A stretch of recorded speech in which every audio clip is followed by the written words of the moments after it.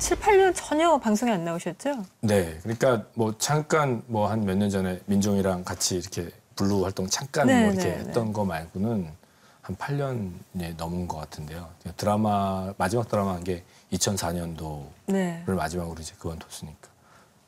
근데 그때가 이제 둘째가 태어났던 네. 해예요. 근데 저는 이제 우선순위가 가족이 제일 우선이거든요.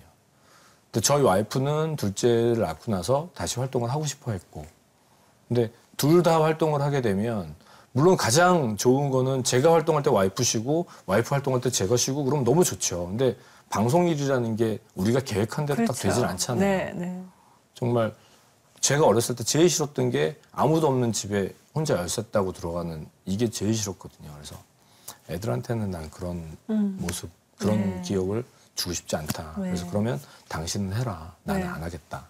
근데 쉽지 않은 결정이었을 것 같아요. 사실 제가 어렸을 때 배우가 되겠다. 아니면 무슨 가수가 되겠다. 막 그런 목표를 가지고 준비해 왔던 사람이라면 이런 선택은 못했을 거예요. 근데 저는 제가 그 처음에 시작도 대학교 등록금을 벌기 위해서 시작을 했고, 그냥 그때 저- 저한테 필요한 건 그냥 돈이었어요.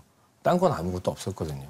그렇게 하다 보니까 사실 활동을 하면서 잘 되긴 하는데 제 마음속에 이렇게 불안함이 않죠. 있는 거예요, 네, 항상. 네.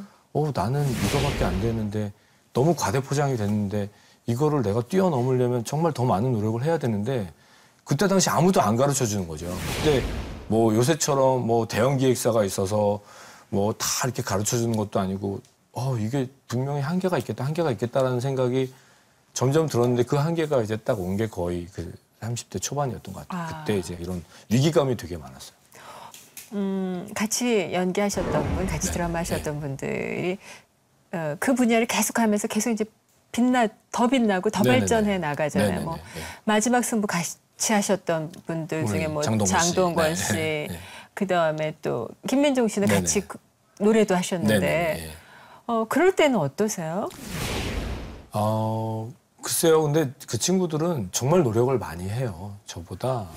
그러니까 지금도 동건이들 이렇게 보면 동건이 오히려 젊어 우리 그 어렸을 때보다 지금이 더 점점 더 멋있어지는 것 같아요. 네. 네. 그리고 민종이도 운동을 예전에 민종이가 몸이 그렇게 좋지 않았거든요. 네, 운동을 정말 무섭도록 해요. 그래요. 그래서 그런 유지하는 거 보면 아유 나는 너희들처럼 못하겠다는 그 생각이 딱 들어요. 그리고 지금도 네. 그냥 그 친구들 이제 뭐 남자 아니 신사의 품격 네. 너무 잘 돼서 좋고 보세요? 네 보죠. 네. 보고 아 근데 진짜 남자 새끼가 그래요? 아뭐 꼭 그렇다고 할 수는 없는데요. 네. 근데 이제 그 생각은 하죠. 만약에 제가 아, 20대 후반 29살 때 결혼 안 했으면 전 아직 민종이랑 놀고 있을 거예요. 아 정말요? 네. 아직까지